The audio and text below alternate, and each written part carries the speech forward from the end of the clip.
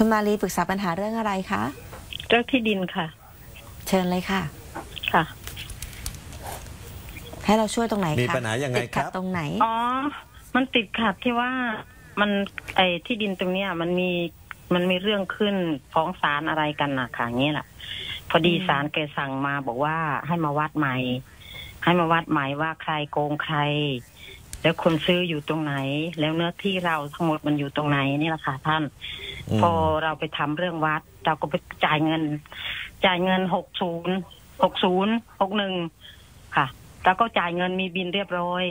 พอเรื่องเราตามตามไปเรื่องก็เงียบค่ะ พอเราไปตามอีกทีหกสาม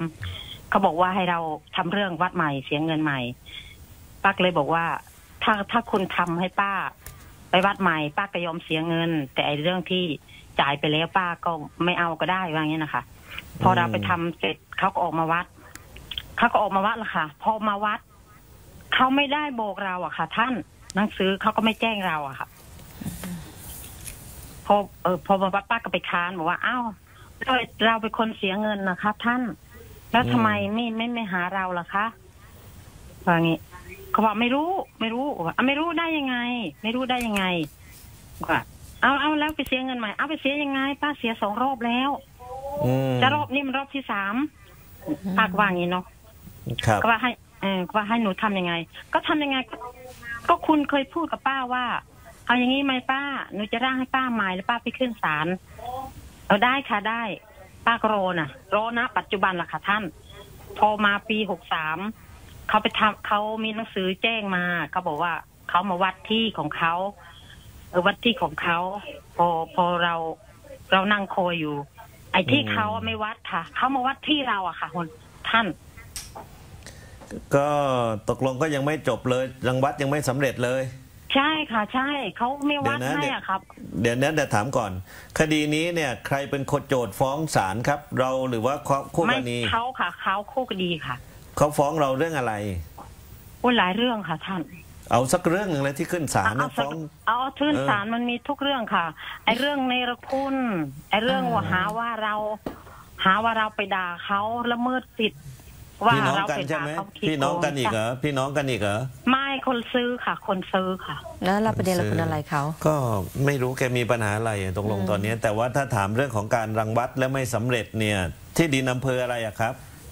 สุรินทร์ค่ะ สุรินทร์อำอำเภเภอ อเมืองค่ะ เจ้าพนักงานที่ดินจังหวัดสุรินทร์เนาะไปขอรังวัดมาสองครั้งและรังวัดไม่สำเร็จ ค่ะ ทีนี้เราจะต้องเอาหลักฐานการรังวัดเนี่ยไปขึ้นศาลใช่ไหม ใช่ค่ะศาลท่านบอกว่าให้ไปวัดใหม่ ให้ไปวัดใหม่ดูซิอันว่า นี้ก็รังวัดไม่สำเร็จทีนี้ใช่เขาไม่ฟังดูทำก็ให้แอะค่ะปลกๆอยู่ไม่รู้ป้าพูดไม่ถูก หรือเจ้าหน้าที่ทำอย่างที่ป้าพูด ถ้าเจ้าหน้าที่ทำอย่างที่ป้าพูดนี่ก็แปลกป้าเสียเงินครั้งแรกไปมารังวัดเอายังไม่มาเอาหายไปหายไปปั๊บอ่าพอไปตามเรื่องบอกให้ไปยื่นใหม่เสียตังค์ใหม่เอาก็เสียตังค์อีก เสียตังค์ใช่ค่ะเสร็จปั๊บพอเขามารังวัดก็ไม่แจ้งเจ้าของ ไม่ได้แจ้งคนคนที่ขอรังวัดอะนะ ค่ะก็คือไปแจ้งฝ่ายฝ่ายไปตรงไปข้างๆที่มีฝ่าปัยญหาท้องกันที่เออใช่ไอ้คนค่ะที่เสียใช่ตังค์ค่ะ ให้มารังวัดไม่บอก อืม ใช่ซึ่ค่ะ งเป็นไปไม่คือน่าถ้าจะเป็นไปได้อย่างป้าว่านี่คือไม่บ้าก็เมาอะ แต่ไม่รู้ว่าใครอะมันจะไม่รู้ต้องแจ้งเจ้าของที่ป้าหดิรืน อว่าฝ่ายเจ้าหน้าที่อะมันต้องมีคนหนึ่งแหละไม่บ้าก็เมาอะ ไปรังวัดยังไงไม่บอกเจ้าของที่เขาค่ะ เออ เออป้าก็ผิดป้าก็ว่าเนาะเอาแล้วคุณทำอย่างนี้ได้ยังไง คุณไม่มาวัดคุณไม่แจ้งป้าทั้งที่เออชื่อตรงนี้มันชื่อแฟนป้าอืมผมก็ไม่รู้ว่าใครพูดจริงพูดไม่จริงอะนะนี่ถ้าถามที่ดินที่ดินก็คงปฏิเสธอะไม่มีทางบอกใช่เฮ้ยผมต้องไม่แจ้งว่าสิเราไม่มีเจ้าของที่ดินอยู่นางน่ามาจะเป็นไปลีได้มาขอรังวัดสอบเขตที่ดินอ่าเจ้าพนักงานที่ดินรับเงินค่ารังวัดแล้วนัดหมายแล้วแล้วก็มาพาช่างมาทำการรังวัด แล้วไม่บอกเจ้าของที่ แล้วก็ไปรังวัดก็ไปถามใครไปหาใคร อันนี้ตลกแล้วเขาไปเองป้าค่ะป้ากำลังงงป่ะเอาแล้วทำไมท่านพวกท่านรู้ล่ะคะ ว่าเหนือที่อยู่ตรงนี้ ผมนี่แปลกใจมากไปดู KPI ของที่ดินก็ได้รับรางวัลนะเยอะแยะเลยโโเยอะแยะเลยได้หรับลายรหน่วยงานด้วยคะแนนสูงเอกบอกมากนะการประปาการไฟฟ้า